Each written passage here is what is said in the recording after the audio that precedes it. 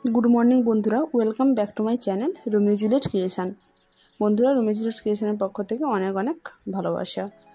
বন্ধুরা, নতুন একটা ব্লগে তোমাদের স্বাগত জানাই। এখন বাজে হচ্ছে ভোর সাড়ে চারটে। তো আমরা এখন চলে এসেছি হচ্ছে স্টেশনে।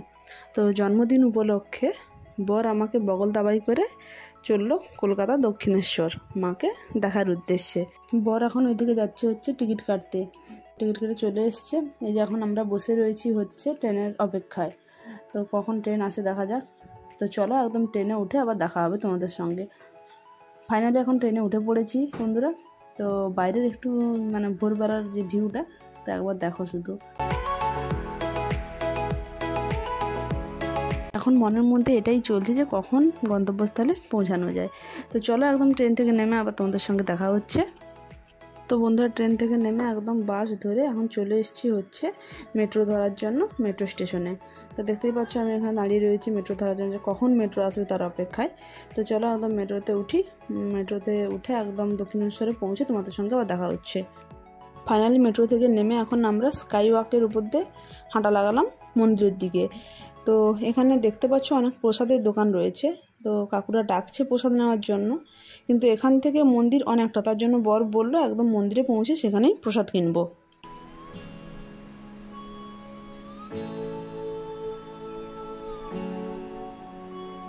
তো এখন আমরা মন্দিরে পৌঁছে গেছি।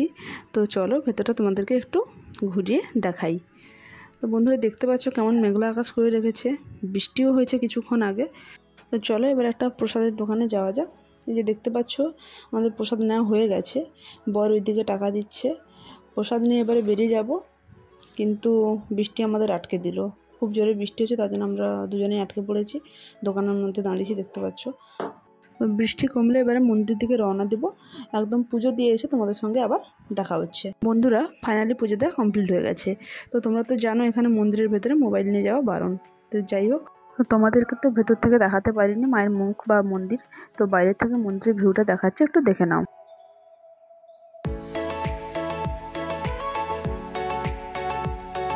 এবারে এখান থেকে বেরিয়ে বর্মশাই কোথায় নিয়ে যায়, দেখা যাক। বন্ধুরা, টোটো ধরে এখন আমরা চলে এসেছি হচ্ছে আদ্যাপীঠ মায়ের মন্দিরে। বর বলল এখানেই মায়ের প্রসাদ খাব। তো তার জন্য তড়িঘড়ি করে আসতে হলো কারণ কুপন কাটতে হবে তো টাইম থাকে যে একটার মধ্যে কুপন কাটতে হবে। এখানে দেওয়া রয়েছে হচ্ছে মানে কখন পুজো হয়, কবে মন্দির খোলা থাকে, তার সব কিছু বিবরণ। আমাদের ভাগ্য খারাপ, কারণ আমরা যখন আসি, তখন মায়ের মন্দির বন্ধ হয়ে গেছিল। তো বন্ধুরা, বাইরে থেকে মায়ের মন্দিরটা দেখে নাও।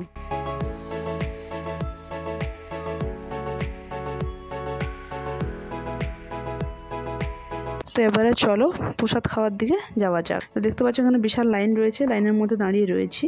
তো যাই হোক, সব লাইন অতিক্রম করে এবার ভিতরে প্রবেশ করলাম। এই যে দুজনে বসে গেছি। তো চলো প্রসাদে কি কি রয়েছে ওটি তোমাদের সঙ্গে শেয়ার করব। তো তোমরা দেখে নাও প্রসাদে কি কি রয়েছে।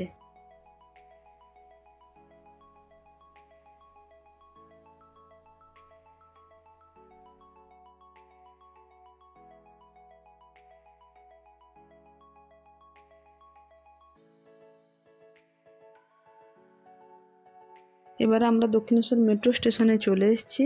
দেখতেই পাচ্ছ, বসে রয়েছি। চোখ মুখের অবস্থা একদম খারাপ মানে খুব গরম লাগছে।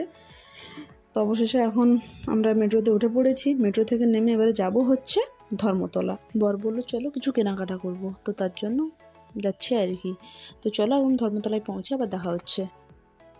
তো আমরা এখন ধর্মতলা বাজারের মধ্যে পৌঁছে গেছি। তো ধর্মতলা তো জানো, প্রচুর নানা রকমারি সব দোকান।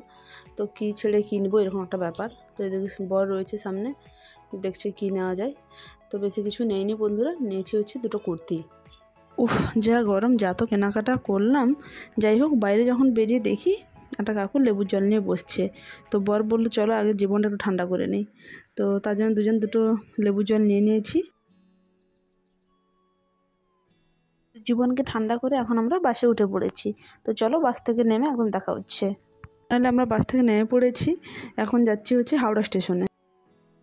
তো স্টেশনে পৌঁছে গেছি। তো এবারে হচ্ছে বাড়ি ফেরার পালা। ওইদিকে দেখতেই পাচ্ছ বড় ওইদিকে টিকিট কাটছে। যাই একটু ঘোরাঘুরি হলো।